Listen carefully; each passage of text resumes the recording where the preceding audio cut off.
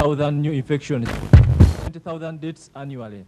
The Commission is also worried of the increasing HIV discordance among married couples, whose rate is 57%. We are going to defeat HIV AIDS. We need to start a new social movement in this country on prevention. Positive to be negative. That's the message we have to put out. It is positive to be negative. Condoms are the cheapest and most. We want to encourage the people who are negative to remain negative. And this is a message that we shall continue passing across. Preventing new infections. We'll be able to make it possible for our friends from abroad, abroad be able to help us sustain the treatment program. Meanwhile, those who turned out for mass testing, of whom the majority were youth, showed courage.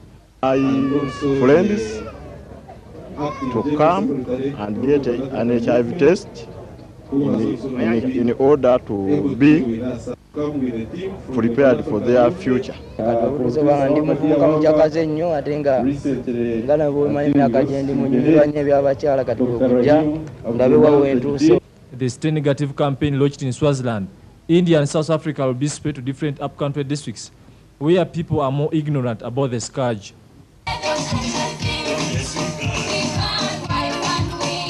Muruta Hannington, UBC News.